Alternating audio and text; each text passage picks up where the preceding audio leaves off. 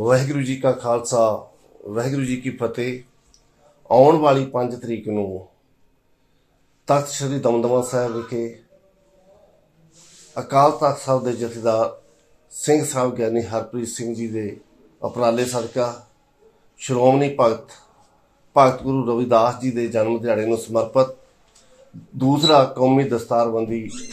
ਦਿਹਾੜਾ ਜਿਹੜਾ ਮਨਾਇਆ ਜਾ ਰਿਹਾ, ਸੋ ਸਾਫ਼ ਸੂਰਤ ਬੱਚਿਆਂ ਨੂੰ ਸਤਿਕਾਰਯੋਗ ਸਿੰਘ ਸਾਹਿਬ ਗਿਆਨੀ ਹਰਪ੍ਰੀਤ ਸਿੰਘ ਜੀ ਵੱਲੋਂ ਖੁਦ ਦਸਤਾਰਾਂ ਸਜਾਈਆਂ ਜਾਣਗੀਆਂ ਔਰ ਨਾਲ ਹੀ ਜੋ ਬੱਚੇ ਕੇਸ ਰੱਖਣ ਦਾ ਪਰਨ ਕਰਨਗੇ ਉਹਨਾਂ ਦੇ ਸਿਰਾਂ ਤੇ ਵੀ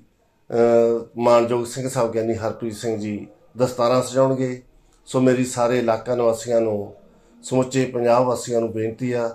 ਕਿ ਉਸ ਪਵਿੱਤਰ ਦਿਹਾੜੇ ਤੇ ਵੱਧ ਤੋਂ ਵੱਧ ਬੱਚਿਆਂ ਨੂੰ ਨਾਲ ਲੈ ਕੇ ਇਸ ਪਵਿੱਤਰ ਦਿਹਾੜੇ ਦੇ ਵਿੱਚ ਵੱਧ ਚੜ ਕੇ ਯੋਗਦਾਨ ਪਾਈਏ ਅਤੇ ਅਕਾਲ ਤਖਤ ਸਾਹਿਬ ਦੇ ਜਥੇਦਾਰ ਸਿੰਘ ਸਾਹਿਬ ਗਿਆਨੀ ਹਰਪ੍ਰੀਤ ਸਿੰਘ ਜੀ ਵੱਲੋਂ ਜੋ ਮਹਾਨ ਉਪਰਾਲਾ ਕੀਤਾ ਜਾ ਰਿਹਾ, ਉਹਦੇ ਵਿੱਚ ਵੱਧ ਵੱਧ ਵੱਧ ਚੜ ਕੇ ਆਪਾਂ ਹਿੱਸਾ ਪਾਈਏ। ਵਾਹਿਗੁਰੂ ਜੀ ਕਾ ਖਾਲਸਾ, ਵਾਹਿਗੁਰੂ ਜੀ ਕੀ ਫਤਿਹ।